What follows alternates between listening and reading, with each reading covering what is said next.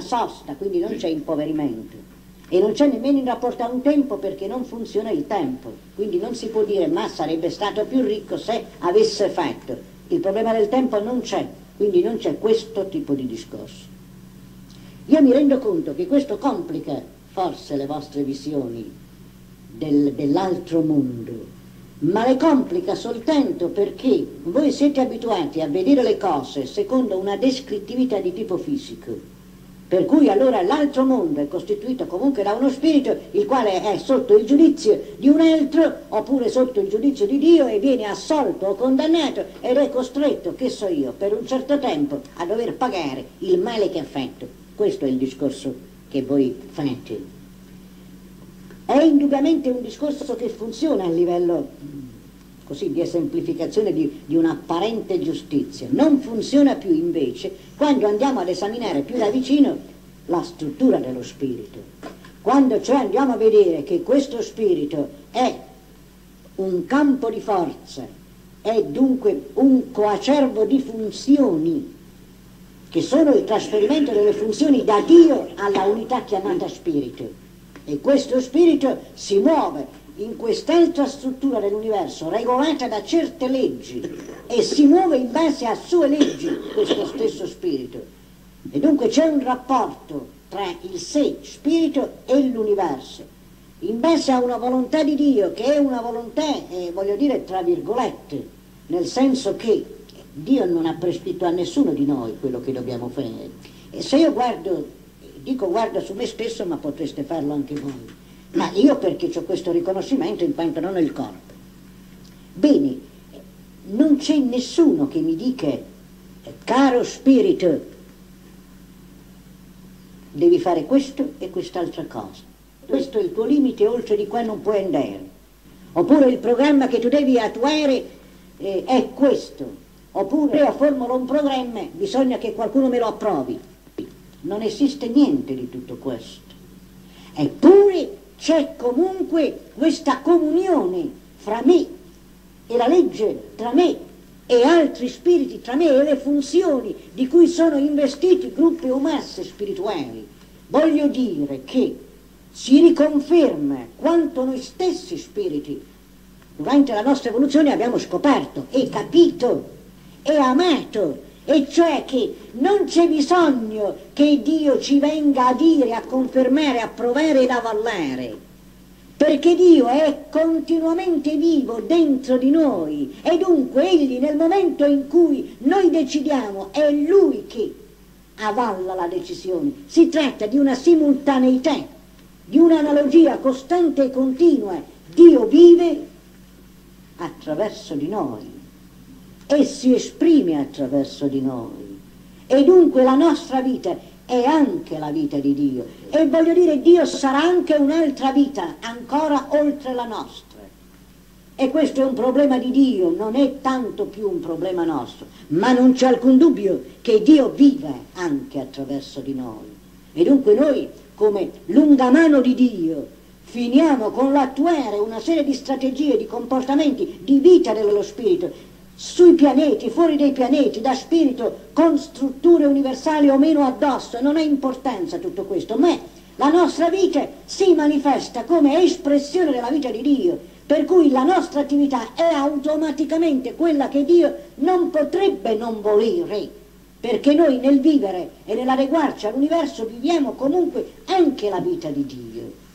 E questo anche nelle sfaccettature apparentemente negative perché poi qui interviene l'altro discorso che non c'è una vera inevoluzione e non c'è un negativo e un positivo, non c'è un bene e un male, ma c'è l'attività, la funzione vitale dello spirito, che si esprime con una serie di modalità che coinvolge gli altri, poiché la vita dello spirito è sì una vita individuale, ma è contemporaneamente anche una vita collettiva. Noi siamo soli ma siamo soli con gli altri, cioè siamo soli con gli altri esseri viventi nell'universo. E in tutto questo noi siamo l'altra faccia dell'universo. Voglio dire che anche gli atomi sono soli, ma solo sono nell'insieme di una struttura materiale. E quindi ciascuno vivendo la propria individualità la vive collettivizzando questa individualità, cioè portandola continuamente a confronto, coinvolgendo gli altri nella propria esistenza individuale. Questo soprattutto per lo spirito si verifica, ma naturalmente nel piccolo si verifica anche per l'essere umano. Ecco perché quando si vuole parlare di giudizio dello spirito dopo la morte, noi incontriamo certe difficoltà a farci capire. Gli uomini sono abituati a ragionare un po' per, per, per pene, per premi, e dunque c'è un paradiso o un inferno in pratica, qualunque sia la metafora di questo inferno, questo paradiso.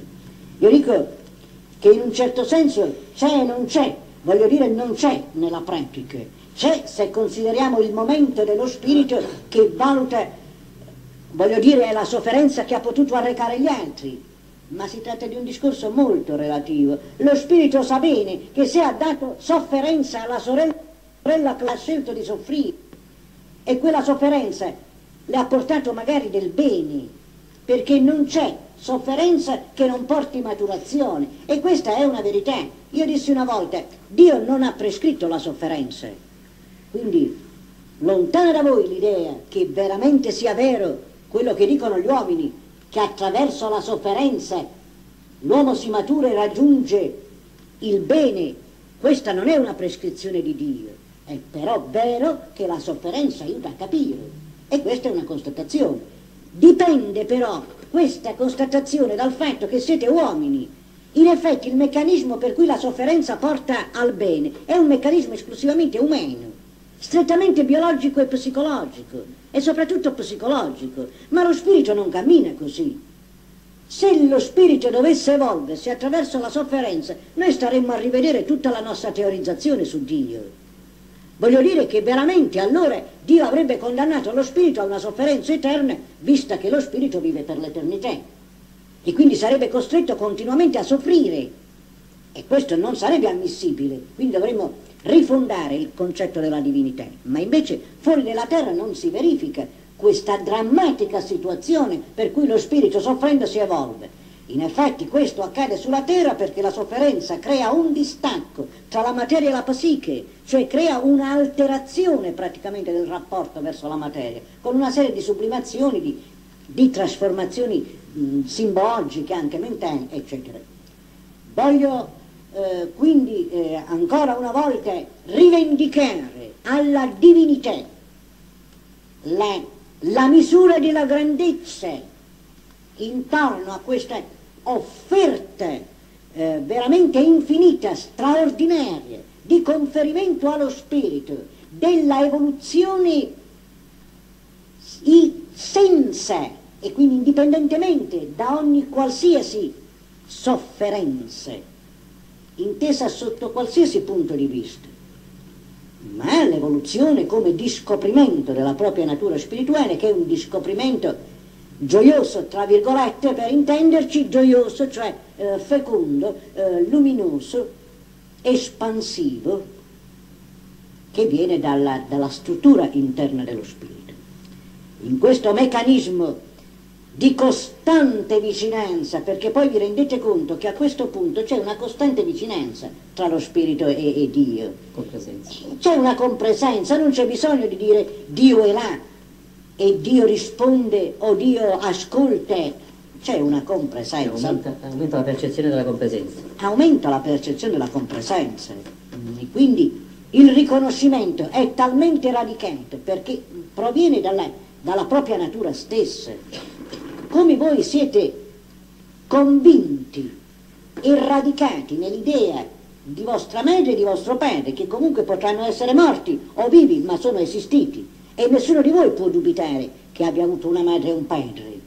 E così non è necessario che essi siano viventi, per amarli, per pensarli, per saperli magari vicine, per chi crede nello spirito.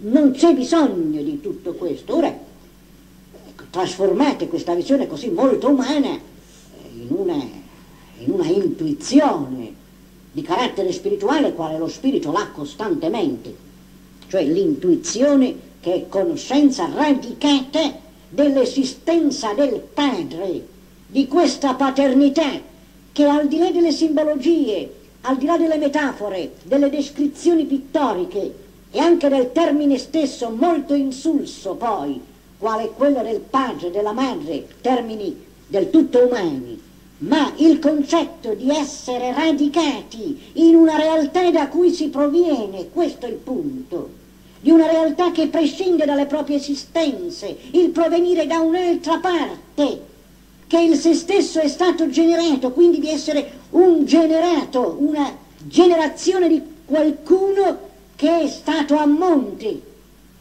Questa radicazione della persuasione. È questo il senso dell'appartenenza all'universo, alla divinità, insomma a colui che poi molto umanamente col vostro vocabolario molto insignificante chiamate padre, madre, figlio, e poi sentimenti, amore, fratellanza, tutte cose che fanno parte del vostro linguaggio quotidiano, ma che fuori si devono trasformare in queste percezioni di radicamento nella struttura dell'universo, generata da un generatore, cioè da colui che chiamiamo il Padre, Dio, la nostra essenza primaria. Questo è il discorso. Ed è chiaro che portato a un, a un limite più alto, questo discorso fa perdere di senso concetto di, di, colpa, di piccola colpa, di perdono, di misericordia. Sono sciocchezze, sono veramente cose sciocche da non potersi più portare in un ragionamento così, così ampio, così significante della radicazione del, della propria essenza in qualcuno, in qualcosa. Da cui si capisce, poi possono promanere ecco, i singoli atti quotidiani all'interno di un rapporto, un bene o un male, fatto o non fatto, ma in un problema di crescita generale dello spirito, di, di una crescita che è proprio vista come quella di un bambino al quale noi non diremmo mai, mio caro, stai facendo il male e il bene, perché un bambino che cresce può anche romper tutto, o può anche, eh, voglio dire, scappar via, o può anche fare qualsiasi atto senza che adesso noi assegniamo un significato, poiché la crescita implica proprio l'esperimento continuo e continuato di se stesso in un universo sconosciuto. Bene, l'evoluzione dello spirito è questo, è il cammino di uno spirito in qualcosa che gli è ancora sconosciuto, che altrimenti non sarebbe un cammino. È dunque un cammino che è una esplorazione continua.